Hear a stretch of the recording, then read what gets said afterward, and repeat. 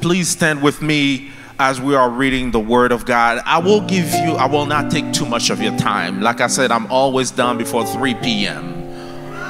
I'm always done before 3 p.m. I'm always done. I try my best. I'm always done before 3 p.m. And I will continue to keep my record. I will give you one principle this morning, and this principle will go towards the fathers. This message is not simply for the fathers, but it's for every single young man who has not fathered yet. This message is for every single mother or every woman who is about to get married or who are planning on getting married, for you to know what the meaning of a father is. I will give you a single principle because I want you to remember it because I believe this principle and this erroneous concept that we have of this principle is at the root of the problems that we are experiencing, not only at school, at home, but in the church as well. Uh, we'll give you one single principle that we found and we can find in Proverbs chapter 22, verse 6. It is a very common word that is often used, but often misunderstood. Proverb 22 verse 6, the word of God says, So train, somebody says, train a child, a child, a child, a child, in the way he should go, not in the ways Notice the details and the way. There is one single way. Somebody said this morning, there is only one way. I know society says that all the roads leads to Rome, but that is a lie from the enemy. There is only one way that lead to the kingdom of God a child in the way he should go. And when he is old, it doesn't only make reference to the boys, but he's making reference to the young ladies also. When he is old, he will not, he will not depart, depart, depart. The other version says turn from it, which is to pivot from what was taught, for what was given. He will not turn from it. Please sit down. Heavenly Father, we come to you in the name of our Lord and Savior Jesus Christ. Father, we give you praise, we give you glory, Father, for all the families, Father, who have gathered here in this temple, Father, seeking something from you, Father, seeking something not from your hand, but from your heart, Father. Let them hear from you this morning, Father. I don't want to hear from my neighbor, I don't want to hear from my besties, I don't want to hear from my family members, but I want to hear from Christ Himself There is a single woman in this house, Father, who's trying to get to the bottom of your garment, Father. Let her touch, Father, the end of your garment, Father, because there is deliverance in the garment that is wrapping Christ this morning. There is a family, Father, who's about to be divided, Father. Dad are about to go his way, mom is about to go his way, and the children are left alone, Father. But I pray, Father, for a spirit of communion, Father, on this house, Father, on the spirit of division, Father. I come against this this morning, Father, and I call for the peace of Christ peace of Christ among mom and dad and the children, Father, and the family, Father. We pray to you in the name of our Lord and Savior Jesus Christ, who shed his blood for us, the eternal blood of Christ. In Jesus' name, and let the house of Salem say, Amen. There is always some sense of comfort when you are starting a new job that you will find somebody to mentor you. There is always a sense of comfort, mostly when you're starting a new school. I remember when I was a teenager and when I was about to start high school, I was happy to know that my older cousin was, was already in the school. It brings you a sense of comfort, it brings you a sense of confidence that no one else can give you but the state of mind knowing that you have somebody who has paved the way for you, who has done the work for you, and who can hold your hand and guide you through the difficult moment is there. Somebody says amen to that. I believe that the spirit of mentorship is lacking in the church this morning. I believe that today too many pastors, evangelists, praise team leaders, or quote unquote apostle or prophet are calling out themselves without having been mentored or being called out by somebody else who was there before him. I believe that today in the church, as we read through the Bible, we have forgotten and we are misreading the Bible, not knowing that you can't speak about Joshua without speaking of his mentor Moses. I believe this morning that you can't speak of Elisha without speaking of an eagle eyed prophet named Elijah. I believe that today we preach so much about Timothy that we forget that Timothy had a mentor named Paul. A disciple, if you look for the word, a disciple is a follower who learns by observation. The disciple never stayed home, the disciple always stepped out of the house in order for them not to just speak about the discipline or their craft, but to live it in person. I believe that today we are lacking, we are lacking mentorship, we are lacking discipleship, not only in the house of God, but in the school and in the house also itself. From the beginning of the Bible, if you read the Bible clearly, you see that God is a person who pays close attention about how you duplicate yourself. Somebody says, Amen. If God had given so many disciples to those great prophets and to those great women and men of God, it's because God from the beginning had instilled in them the spirit of discipleship. You can't be a pastor or a mentor or uh, uh, an evangelist and you don't have a disciple, somebody who's following you, somebody you're training, somebody you're trying to bring up. Because God from the beginning in Genesis chapter 1 verse 27, God says in the word, so God created man and his own image. I'm going to duplicate you. You're going to be an image of me. You're going to be representing me. Not because you will have the same nose or the physical features. No, that's not what God was referring to. God was referring to his character. You will be compassionate. You will be loving. You will forgive. You will know what to do when things get difficult and you will have wisdom. Those are some of the duplication that God was instilling in the man when God says that you will be created in my own image. And he was not only speaking of the male, but he was speaking about the female as well. And then God gave them a simple order. He told them to multiply. So I am the beginning, I'll duplicate you, and then you will multiply yourself. Can I be carnal for a minute? How many people love McDonald's in this place? Don't lie to me.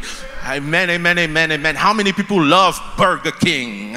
Amen. How many people love Dunkin' Donuts? Uh, amen. This side is the Dunkin' Donuts lovers. Oh God, who else can I? Who else can I trick? Who else can? Where can we go? Where can we go?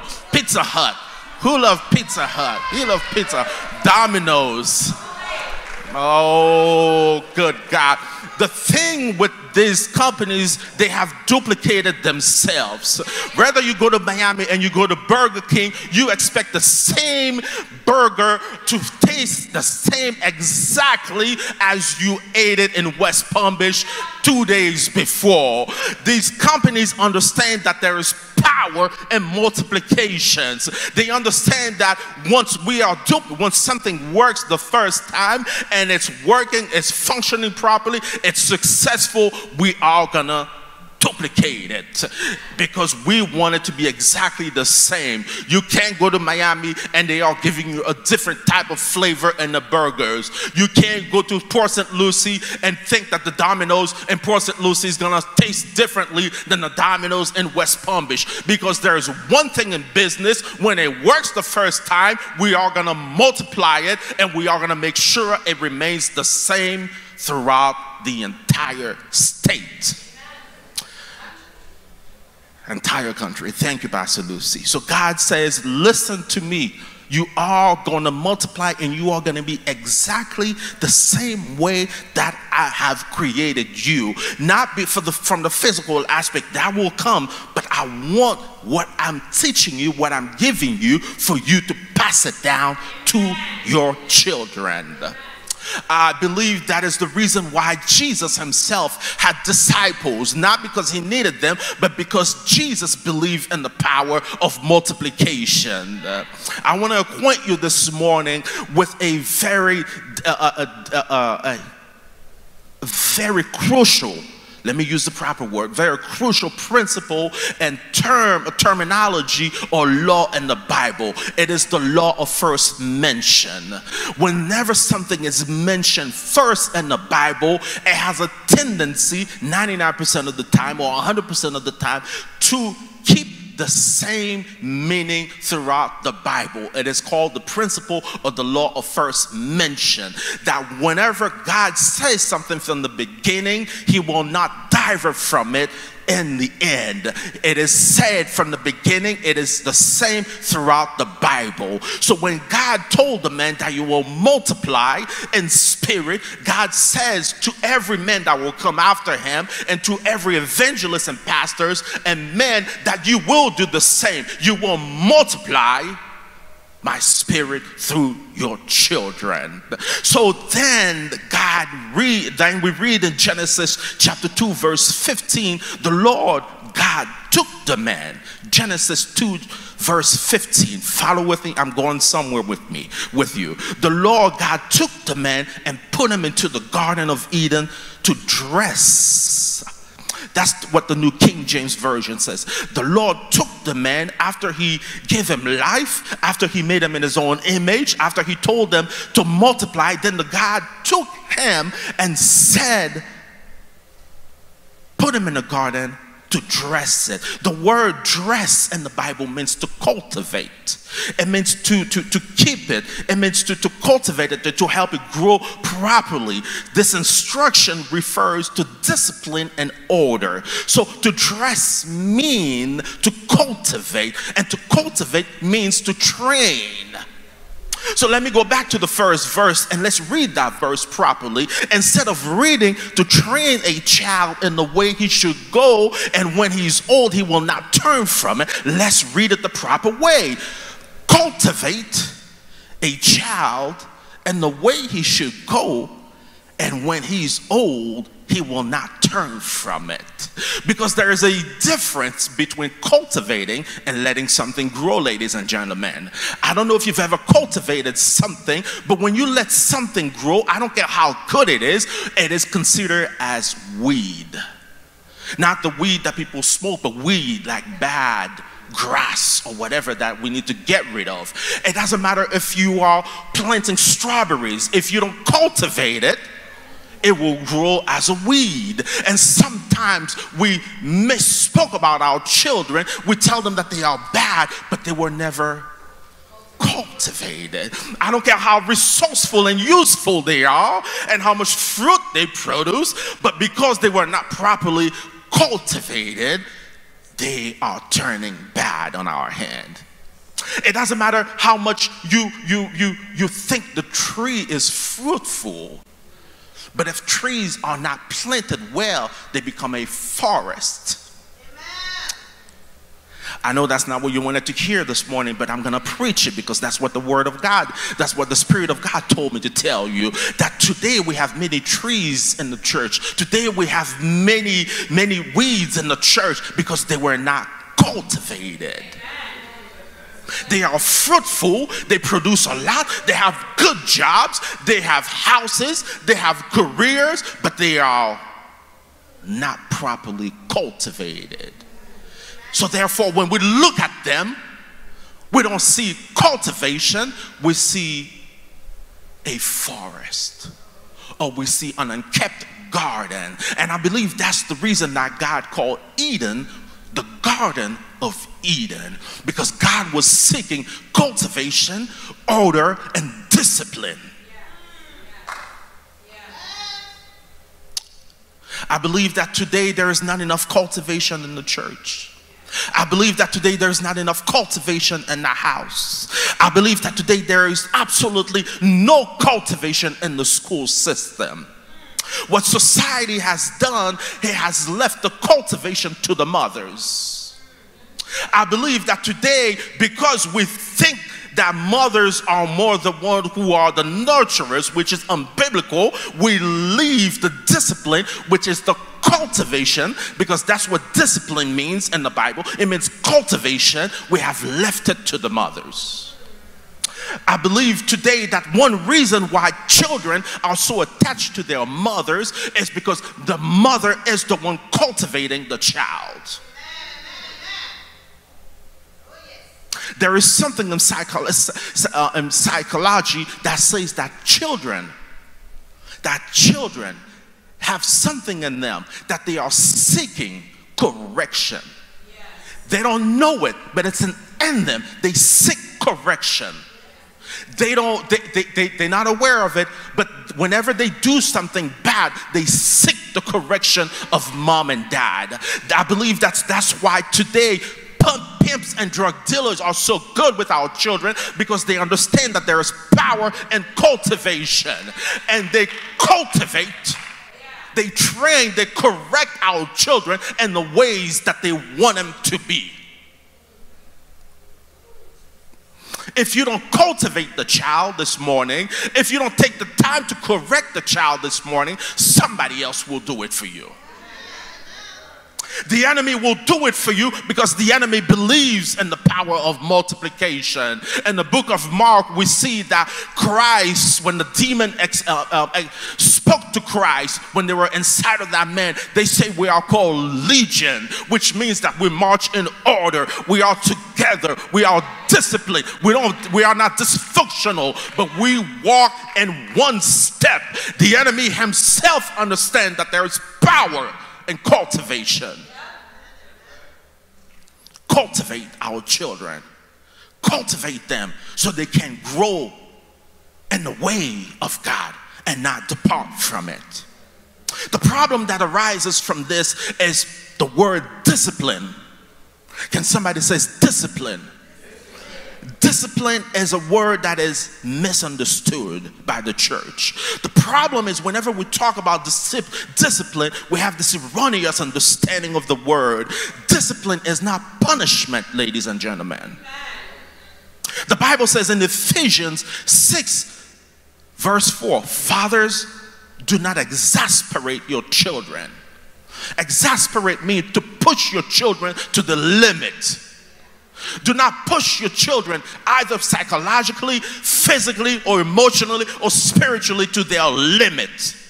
Do not exasperate your children. Instead, bring them up in the training and the cultivation and instruction of the Lord.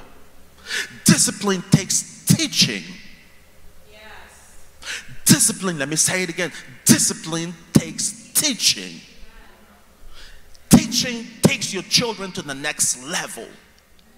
You cannot go to the next level if you are not taught properly. The church will never go to the next level or be more efficient if you are not taught properly. Discipline is teaching. It is one thing to teach a child, but correction will take the child to another level. It will shape the child it will shape his character. Too many of our children are successful without character. Too many of our children are successful without character. I don't want you to be a doctor and all you do is stealing money from people. I don't want you to be an attorney and all you do is destroying people's lives. You could be a garbage man, but you have principles. I don't have any daughters, but I would hate to see one of our daughters here marrying a senator, marrying a president, marrying a governor, a man with no principles. It's pointless. It breaks my heart to see our daughters seeking a man with a resume in his hand. It breaks my heart. What are we teaching our children? To seek a resume or to seek character in a man? He looks good from the outside. He brings the money, but he slaps you every night. What is the point? What is the point? Too many of our sons lacks character. The problem with the word discipline, because we think it is punishment, we assign it to the mothers. It is not punishment, it is teaching. The word discipline comes from the word comes from the word disciple. The word discipline comes from the word disciple. So let's go back again on that verse because we're going to chew on this verse as much as we can. We're going to squeeze it. The first version, because that is the English version, train a child in the way he should go, and when he's old, he will not turn from it. But in reality, it means to cultivate a child in the way he should go. And when he's old, he will not turn from it. But the root word of training and cultivating is discipline. And the root word of discipline is disciple, which this verse truly meant to disciple a child in the way he should go. And when he's old, he will not turn from it. So the goal that God was giving the fathers is not to train, is not to correct with their hands, but to disciple the children and the way they should go. And when they are old, they will not depart from it. Discipleship doesn't happen in the church. Discipleship does not happen in the church. Discipleship doesn't happen at 11 a.m. to 1:30 p.m. Discipleship happens every day. Discipleship happens at work. Discipleships happen when mom and dad don't get together. Discipleship happens when there's family crisis. A disciple is somebody who follows you wherever you go. So the Bible was basically telling the fathers that wherever you go, take your children with you because they've got to see you handling issues. If your children can't witness you, can't witness and see how you handle pressure, bad times, jobless, single, busted and disgusted, they will not disciple or they will not be disciplined. They've got to see you. They've got to witness it. I will not get into de- the details, but some men, a man find his way to my child's ear, my son Samuel, and accuse me of something, accuse me of his demise and his life find a way to say that to my 11 year old son and say that that's what your father did to me. But when your son is a true disciple of his father, my son said, There's no way my dad would have done this. Because my son knows me. Does your son and your daughters know you this morning? Do they know you? Have they seen you handling family crisis? Do they know their father's character? Adam knew his father's character. Peter knew Jesus' character. Elisha knew Elijah's character. David knew Saul's character. Do they know your character this morning? To say that my father will never do that, that's a lie in the name of Jesus. Your children, our children, they need to know who you are. The only way they will know who you are if you if you spend time with them. You cannot disciple your children by living away from them. You cannot disciple your children by being at work all the time. Can I go further, Pastor K? You cannot disciple your children by being at church every day.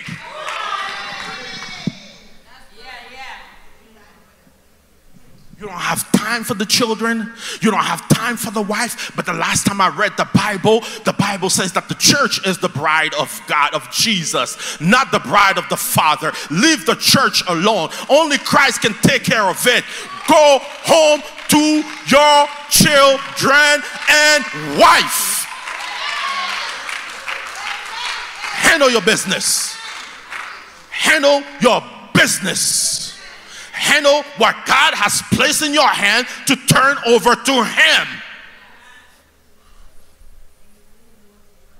You cannot disciple your children long distance. You've got to spend time with them. You've got to give them something that they are seeking from every father, from every mother. It is not money, it is not a big house, it is not a new car, but it is your time. It is your time that they are seeking.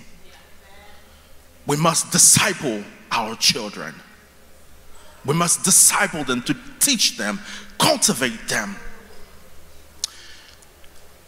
I want to give you a secret before I let you go. The secret of fatherhood, which is in the Bible. Like I said to you, I will not take too much of your time. We have a heavy schedule, but I want to make sure that you understand this clearly that it stays in your head. I want to say to a father who's desperate this morning, who thinks he cannot make it because he's not making enough money.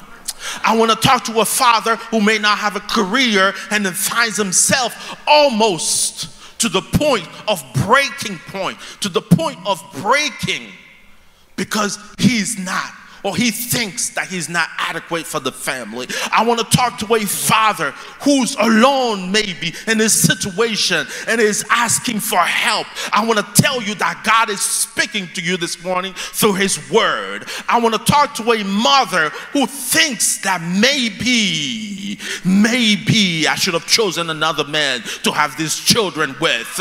And I'm going to tell you this morning, he is the perfect man for these children. He is the perfect man man for you. He is the perfect man for the household. I want to talk to a man who made mistakes as a father, who made mistakes as a husband. I want to talk to a man who thought this was over for me. There is no redemption for me in this situation. The word of God says, Pastor Jackson, if you could put it up for me, this is the key to this message. This is the key to your deliverance this morning to all the fathers. Let's go to Genesis chapter 18, chapter 18, verse 18 to 19. Genesis chapter 18, verse 18 to 19. If you want to highlight it in your Bible, I will please, I will gladly like to see you do doing so. If you want to memorize it, I would love for you to, to do that because this is the key. Abraham the father of faith, the man that they call the father of faith, the man that many evangelist pastors admire because he was successful with God. The Bible says that God Himself give the key on why he was so successful. The word of God says, seeing that Abraham shall surely became, become a great and mighty nation. Abraham, Abraham the cheater. Abraham, Abraham the liar. Abraham cheated on his wife with his wife green light, still, uh, uh, giving him the approval to sleep with the maid. Abraham the liar who lied to the Pharaoh and says that my wife is my sister because he was afraid. Abraham the imperfect man. God says about him, seeing that Abraham shall surely become a great and mighty nation such an imperfect man, father, husband, but yet God says, surely he will become a great and mighty nation. And all the nation of the earth shall be blessed in him. For I know him. I know him. How is it possible that God created a man, but God says, I know this man? What is about this man after all those mistakes and errors with the family that God Himself says, I know this guy, I know this dude, I know him. For He will command His children and His household after Him, and they shall keep the way of the Lord to do justice and judgment, that the Lord may bring upon Abraham that which he hath spoken to him. That is the key to successful family. That is the key to successful fatherhood. It is not about how much money you bring, ladies. It is not about how much money he brings in the house. It is not how big of a house he can buy for you. It is not about the type of car that he's driving. It is not about his resume, but it's only, only about teaching the children the way of the Lord. God is not asking anything else from the men, but I want you to teach them my way, the way of the Lord, for you to be successful. I believe that the greatest mistake that we ever made as fathers is to remove ourselves from the picture. We believe that taking care physically of our children and providing, providing them with food and a shelter is enough. When yet we don't pray with our boys, but yet we don't pray with our daughters, but yet we don't teach them the verse and the meaning of the verse. But yet we don't decipher through their head and their mind after they leave school to see what they had learned. I believe today that the greatest mistake that you can make with your children is to refuse for them or not to encourage them to have some type of Bible study in their life. I believe that the greatest mistake that we can make with our children is to remove the word of God from schools. I believe the greatest mistake that family can always make is to say that the father cannot teach. You never at church, so you can't teach my children the word of God. I believe the greatest mistake that we ever made is not to follow Abraham's example, to teach our entire household, whomever lives in your house, the word of God. In order for you to do that, you've got to give your children the greatest gift that you could ever give them. And this gift is yourself as a parent, as a father, as a mother. If Christ gave himself up for me. Why can't you give yourself up for your children? That is the greatest gift that we could ever be given the gift of salvation from Jesus. But in order for us to have, to have attained that, he had to give himself up for us. Today, I am giving myself up for my children. Have to be lowered in order for them to rise. And I'm willing to give my entire self for the next generation because the God that we're serving is a God of generation. Enough of me and all for the next generation. May God bless you this morning.